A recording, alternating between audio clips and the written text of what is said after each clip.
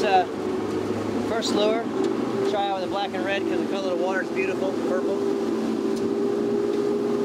Try that out.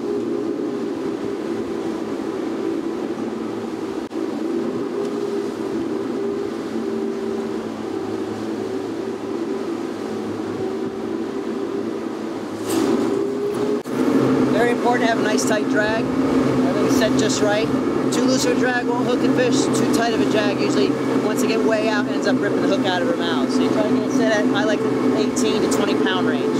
Whether it's the wire, which is old school, or the monofilament, which is also old school nowadays. Um, we're gonna set out another side there. You try to have a good count. The whole idea is to get all your lures set up so it looks like a school.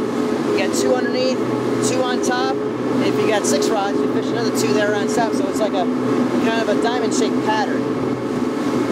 We'll try out. Today we're gonna start with three, just test out a new boat, so we'll see what we can do. You guys probably aren't used to seeing the old school star drags. Nowadays you're looking at the lever drags, but for wire line, these reels are the best because they hold up to the corrosion and they're just uh, low gear ratio helps you be able to crank them in a lot better too.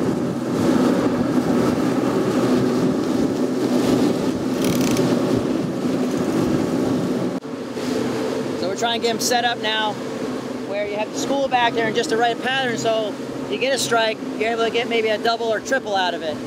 Um, at the moment, like I said, it's a new boat for me, so I'm adjusting to the, you know, you want the clarity of the water, got a lot of wake back there and uh, whitewash, so you want to be able to adjust where, where need be to get the bites.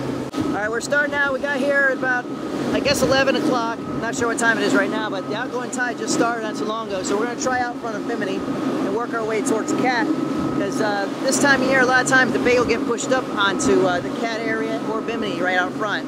So we'll fish the outgoing tide this afternoon, check this area out. And we have a small front coming tomorrow. So if we don't do well here, generally when you get the wind out of the northwest to north, Isaacs is better because it pushes the bait up onto the edge. And then it also will be a late time or late morning bite as well tomorrow. So hopefully it'll work out in our favor in both sections and we'll be a hero today.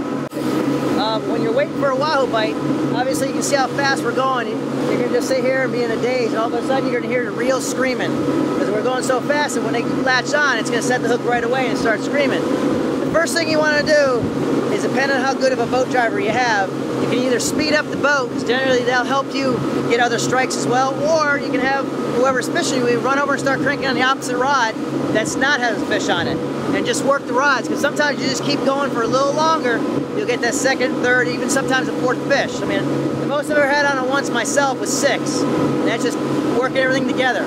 That's the whole idea, you get everything zipping through the edge there, and it produces fish, and doubles and triples are not uncommon.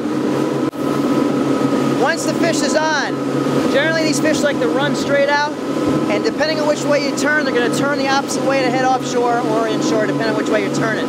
When they're doing that, you want to stay on that rod really good, keeping it tight at all times, because if you don't, sometimes they'll turn around and start racing towards the boat, and you can still shake that hook out, even though at this speed, you would think the hook is set perfectly.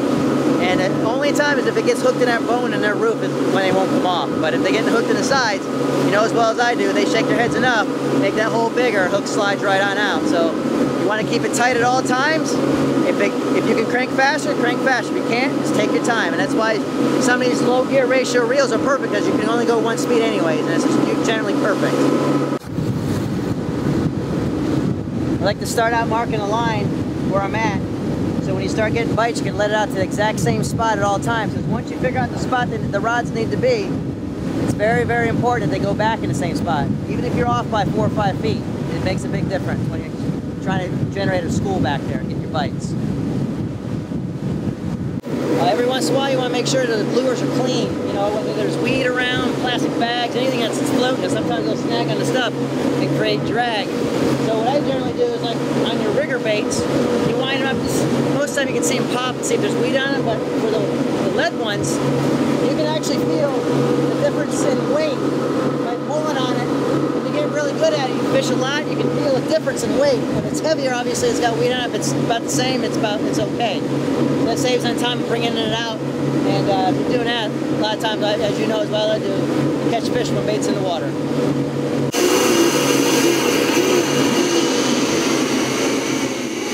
Keep going! Keep going!